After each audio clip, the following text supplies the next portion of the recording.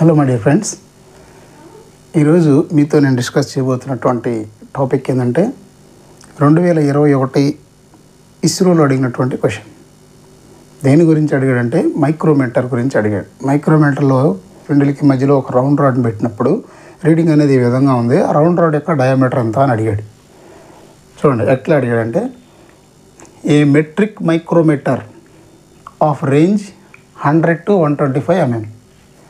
Is used to measure the diameter of a rod barrel graduation shows fourteen point five barrel మీద ఏం కనపడుతుందంట? Barrel graduation showed fourteen point five and thimble graduations in line with the barrel datum line was eighteen అంటే thimble మీద ఉన్నటువంటి ఈ datum ఈ ఈ datum line ఆ barrel మీద ఉన్నటువంటి డాటమ్ లైను తింబుల్ మీద ఎయిటీన్కి చూపిస్తుంది. ఎయిటీన్ చూపిస్తుంది.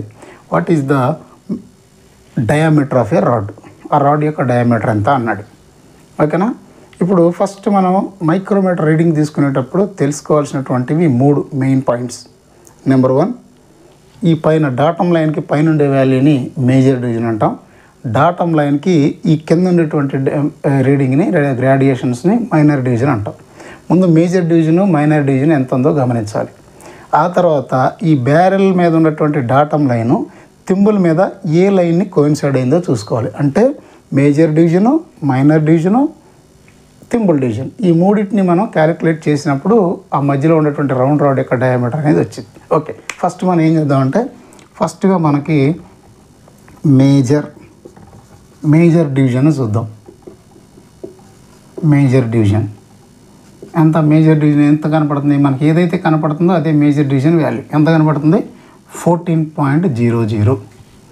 తర్వాత రెండోది minor minor division. Minor division ఎంత కనపడుతుంది అంటే ఇక్కడ అంటే ఇది మేజర్ అయినప్పుడు ఫోర్టీన్ అయితే మైనర్ మైనర్ చూడండి ఫోర్టీన్ తర్వాత ఆఫ్ ఇక్కడ thirteen and half fourteen fourteen and half. Half కనపడుతుంది మనకి. కాబట్టి మనం ఏం చేసుకుంటాం అంటే దాన్ని ఆఫ్గా జీరో పాయింట్ ఫైవ్ జీరోగా రాస్తాం. మెయిన్స్కి మేజర్ డివిజన్ గమనించాం మైనర్ డివిజన్ని గమనించాం ఇప్పుడు ఈ డాటమ్ లైన్ తింబుల్ మీద ఎక్కడ కోయిన్సైడ్ అయింది అన్నాడు? ఎయిటీన్ దగ్గర కోయిన్సైడ్ అయింది ఇదిగోండి చూడండి ఎయిటీన్ దగ్గర కోయిన్సైడ్ అయింది. అప్పుడు దాన్ని మనం మూడోది తింబుల్ డివిజన్ అంటాం. తింబుల్ డివిజన్. తింబుల్ డివిజన్ ఏం చేస్తామంటే ఇక్కడ ఏది కనపడుతుంది? ఎయిటీన్. ఎయిటీన్. అయితే తింబుల్ డివిజన్కి మనం ఇక్కడ రాసుకుందాం. తింబుల్ డివిజన్లో ఇంటూ లిస్ట్ కౌంట్ రాయాలి. లిస్ట్ కౌంట్ రాయాలి. Eighteen into least count. Eighteen అంటే ఎయిటీన్ నైన్ రాసుకుందాం. లీస్ట్ కొంటే ఎంత? Zero point? Zero one. అప్పుడు మొత్తం వాల్యూ ఎంత అవుతుందంటే అది జీరో పాయింట్ వన్ ఎయిట్ అవుతుంది.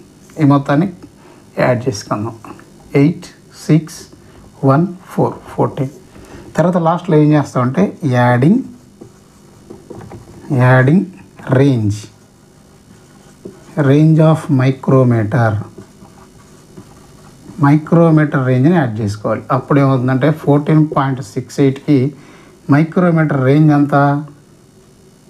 Hundred point zero zero. అప్పుడు eight six four one one. One one four point six eight. అది ఆన్సర్. ఆప్షన్స్ ఏమి ఇచ్చాడంటే ఏ వచ్చేసరికి ఏలో మనకి ఏ బి సి డి అనే ఆప్షన్స్ ఇచ్చాడు. ఏలో వచ్చేసరికి మనకి one twenty five point six eight B వచ్చేసరికి one one five point six eight C one one four point six eight D one four one point six eight అని ఇచ్చాడు ఇప్పుడు answer ఎంత? One one four point six eight okay guys అర్థమైంది అనుకుంటున్నాను.